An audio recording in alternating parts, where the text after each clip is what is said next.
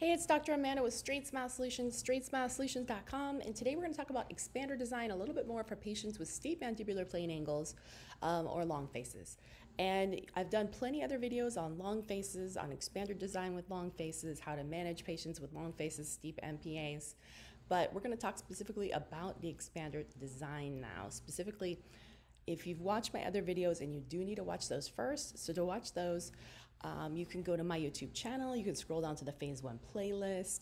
You can put in the search little search tab. There's a little magnifying glass on my page, Straight Smile Solutions. You can put in expander, RPE, um, long face, anything like that. And this, the videos should definitely pop up. You should watch those first. This is going to be a follow up video.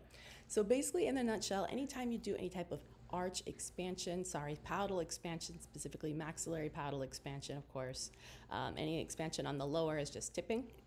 Um, still a useful thing, especially in the mixed dentition. I'm a big fan, and you can watch my other videos on expansion, why you do a lower, when do you do a lower, why I sometimes do lowers.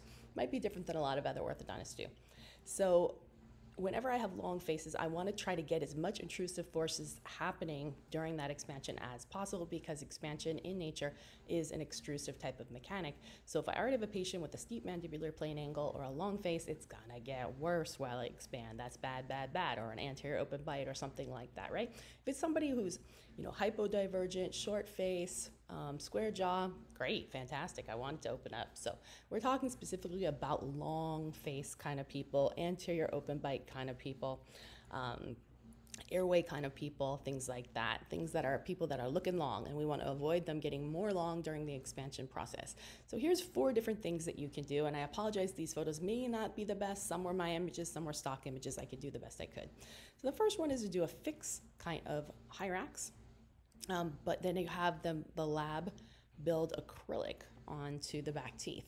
So pros for that is it works really, really, really well. Obviously, there's no compliance issue. It really works amazingly. I've done the flip side. Well, we'll get to that. Where I've done a regular one on top, no acrylic. Okay, um, and I've had a removable acrylic block on the lower. That's called a gelb or a gelb, and I have other videos on that. Problem with that is it doesn't tend to get worn because it's easy to take it out. So they're usually take popping them out at school and whenever they want. So when it's on there and it's glued, well, it's on there for 24 7, so it really, really works. Um, that's the positive part. Bad part is, of course, difficulty speaking. Um, what else?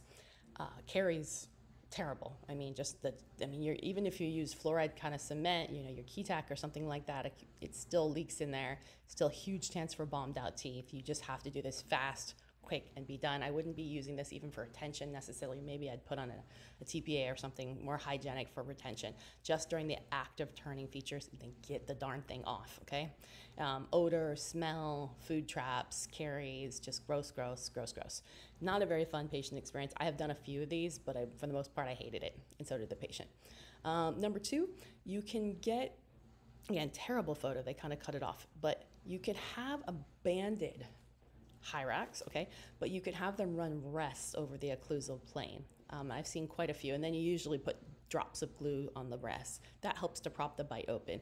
I often prefer in those long cases to make sure I'm getting um, a little blob of composite or some Ketac or some IRM on every single tooth that has a contact. So every posterior tooth. That really helps to balance the forces along with the rest. That works for me. Okay.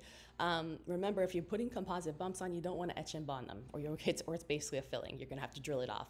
I prefer just to bond it and stack it, no etch. Obviously, no prime because it's not. We're not going into dentin. Um, and if it falls off, it falls off. You know, who cares? I mean, it's it's meant to be able to pop off easily. So they may come off and you can replace them, but it's you don't have to drill them off usually. So that's nice. So rests and bumps are just bumps only on every single posterior tooth that has contact. The third one would be you could have a removable kind of Schwarz and do bumps, just like I said, and then fine with that too. That's another option. Again, you need to use your, your articulating paper, see where the occlusion points are on all the posterior teeth, and you can pick upper, you can pick lower, I don't care. Obviously, if you're doing this version where you're doing a combo of composite bumps and rests, you need to have it all on the same arch, so it's all gonna be on the upper. If you do removable, you can do an upper and lower. Another option is to build, like I talked to you about earlier, the posterior acrylic into the actual expansion device. This is a lower. You can do that too. Again, often doesn't get worn. So you really have to pick the right patient. Usually, I like to know what part of me likes to look at the kid. I mean, if they're coming in and they're younger and they don't seem to care about how they look, you know, like they're just quirky and they'd be loved to wear something funny and talk funny, like, you know, they're seven, eight, maybe even nine, they're just cool about getting colors and rainbows, then it's gonna be fine. If it's somebody who looks very put together, the kid's already like preteen, really worried about how they look, how they act, how they dress, they're probably not gonna wear this because it's gonna affect the way they talk and look. So, you know, that's kind of how I pick my kiddos for these things. And I also kind of explain it to the parents and get their opinion. Usually they do have a strong opinion on fixed versus removable. Um, obviously, the fixed ones are going to be complaining more about the ability to eat and talk. It's going to be a huge upfront adjustment. Whereas the removable, they can kind of gradually ease their way into it. And if there was a major event, they could pop it out, but it really depends on whether or not the parents and the patients are going to be compliant, how well the parents are going to enforce the compliance at home. You have to kind of just get the you know, get the whole picture, get their feedback, you get your gut feeling. If it doesn't match, then you can always do something where you say, hey, we can try this version, but if this doesn't work out for you, we'll have to change to another version. There will be an additional fee of X, Y, and Z. Usually for me, it's gonna be the lab fee plus a tiny bit more for my time.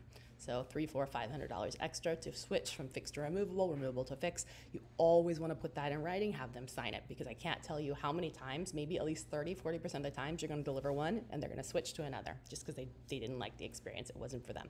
So the more you can explain it up front, give them their risk benefits and alternatives, document it on paper, let them choose. Here's what we recommended, here's what you recommended. Okay, you didn't pick what we recommended. So if you choose to change your mind later, there will be an additional fee. All right, thanks so much. That's pretty much it.